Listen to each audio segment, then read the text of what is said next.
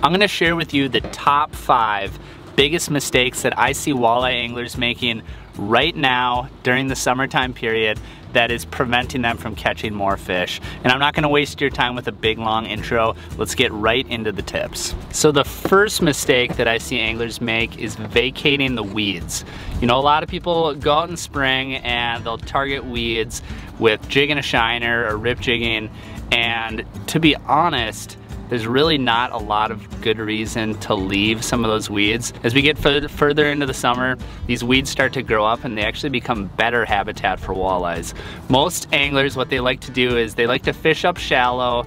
You know, they might target 8 to 12 foot depth range for weeds. And then once we start sneaking up into the 70 plus degree range, they'll actually move out into deeper structure and target fish right on those deeper breaks. That's not always the best call this time of year. Once we get a little bit later into the season and sort of like that early fall period, you'll start to see some of those fish push out even deeper than they are right now. But the weeds can be really good. So right now I'm actually just pulled up here on the shoreline because it's a really windy day. And after I'm done shooting this video, I'm gonna go out and practice for a, a walleye tournament that I got coming up tomorrow. But uh, what I'm gonna be doing while I'm out there is primarily targeting weeds in that mid-depth range, anywhere from like eight or 10 to like 15 foot or so. That's where a lot of the walleyes are still stacked up throughout the summer. So don't rule out the weeds, but let's move on to the next mistake. Mistake number two is not speeding up your presentation. When it's when the water temperatures are a lot colder in spring, you know, you might pitch a jig out there and drag it back, maybe give it a little pop every now and then. And uh, that's a great way to catch walleyes in spring. But as water temperatures start to rise up, you want to have your presentation and uh, how quickly you fish these baits. You want that to rise up as well. So when you're fishing a jig, you might cast it out and you might give it a pop drag it a little bit, pop, or something like that. I was actually out with Brian Brosdahl recently, and he was fishing a jig and a minnow way more aggressively than you would consider, and he was absolutely crushing us too. So there's that, that's something to consider. Um, I remember another memory I have was fishing with my great uncle Al, which who some of you probably know, and we were rip jigging, basically like a jig and a fluke style plastic, and we were fishing up in the weeds, great place to catch walleyes this time of year. And you would not even believe how fast he was fishing it. Rip, rip, rip. And you're basically just hopping that bait over the weeds and ripping it like crazy. That's just incredibly fast. And I think water temperatures at that time were, they were still in the 60s. So we weren't even full blown summer. But as that water temperature rises, the metabolism of the fish also rises. And more often than not, the way to get bit this time of year is not slowing the bait down because because it's a slow bite or whatever, or because the fish are being picky. It's more playing faster, covering water, and finding fish that are more likely to bite, and then eliciting a reaction strike from those fish. So whether you're ripping a jig, ripping a puppet minnow or something like that, or you're pulling crankbaits, that can be another effective way to catch fish as well, which we actually recently had some success doing that. Or basically like trolling a spinner rig behind like a little bullet sinker over the weeds or something like that. That's another great way to catch to catch walleyes this time of year. The long story short with this particular mistake is that speed kills in a good way. So make sure you're speeding up your presentation this time of year. Mistake number three is not using leaders that are long enough. So if you run braided line, you wanna for sure be running a fluorocarbon leader unless you're fishing in the absolute dirtiest river reservoir type fisheries, you want a fluorocarbon leader. And actually, I would even argue in some of those dirty situations, you actually still want a fluorocarbon leader just for a little extra stretch um, as you're fighting those fish. But a lot of people will run like a fluorocarbon leader that's like this long or like this long or something like that. And for me, in my opinion, that's way too short. A lot of the lakes that I fish, if you came out on like a flat, calm day, you could see 10, 15, even 20 feet down um, with just some of the clarity on some of these lakes with zebra mussels that have come in over the last couple decades and uh, a lot of these lakes are just really clear and a lot of these walleyes are also really pressured. So anything you can do to put the odds in your favor, um, you definitely need to be doing that.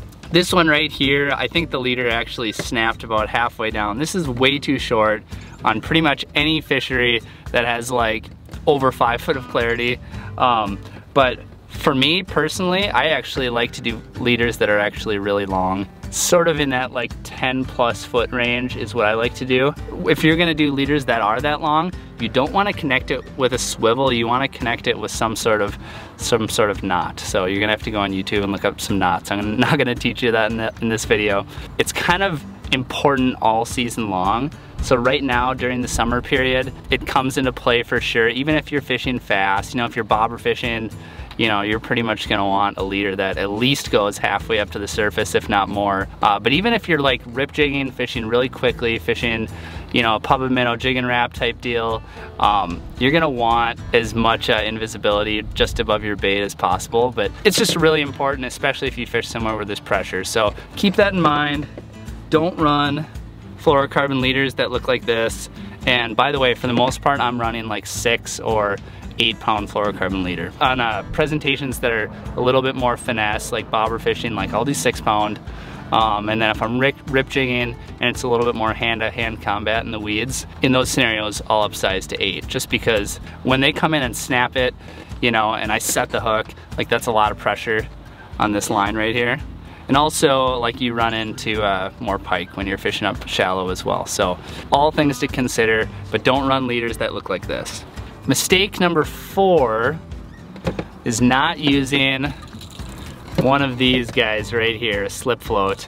Honestly, the absolute most deadly and easiest way to catch walleyes during the summer is with a float. It's just really, really tough to beat a little uh, tiny little jig or a tiny little hook with just a leech fluttering like this right in their face. You can put night crawlers on there, you can put minnows as well. Almost nobody uh, bobber fishes with minnows, uh, but that's actually a really effective way to catch fish. And that's actually kind of a little bit of a spoiler for when we get later into, the season, like fall. A, uh, a lot of people like to rig, and when they're rigging, you know, it's more or less kind of close to the boat. Something that I like to do is actually get a bobber out away from the boat with one of those bigger minnows underneath it, and that can just be an absolute recipe for disaster when you're chasing walleyes. Disaster in a good way. Another great strategy is using like LiveScope or MEGA Live to find where the fish are. Oh, I see three of them right there. And there's no better way to get them to bite than drop a bobber right on top of their head. Honestly, it's kind of cheating in a lot of ways. What's also great about bobbers is you can use them in conditions where it's like really, really hard to fish. If you just cast out, and when I say hard to fish, I mean like maybe the wind is blowing like crazy and uh, it's hard to hold boat position, it's hard to uh, keep your jigs close to the bottom or something like that.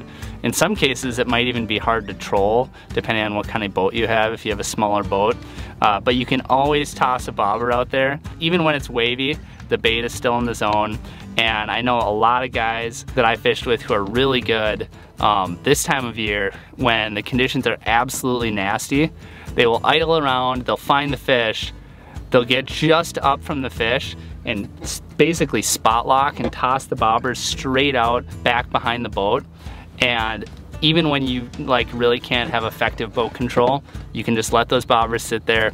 And that is definitely one of the best ways to catch walleyes this time of year. If you look at a bobber and you think, oh, that's for panfish or that's for amateurs, that is a massive mistake because it is a very, very effective tool to catch walleyes. The last mistake, mistake number five, is not fishing at night or not fishing during low light periods. Obviously, right now, this is like the middle of the day high sun. I got the shadow over my face, unfortunately, which is not great for filming. You can definitely catch fish, even on lakes that aren't super great. You can catch them during the day, but the very, very best time to catch walleyes is during the low light period. Uh, so what a lot of people will do is they'll get done with work, four o'clock, five o'clock, they'll go grab the boat, they'll run out to the lake, and they'll fish from like five or six to like eight or nine or so. And more often than not, what they'll find out is uh, the bite might be a little slow when they get out there, but eventually they'll figure them out. They'll end up getting into a pretty good bite around like 8, 9, 9.30 or so.